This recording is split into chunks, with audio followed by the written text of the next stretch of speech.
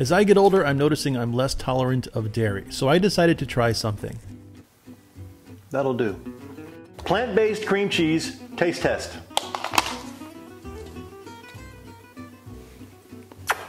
Kind of sour. Good consistency, definitely taste the oatiness. Creamy, tastes like mayonnaise though.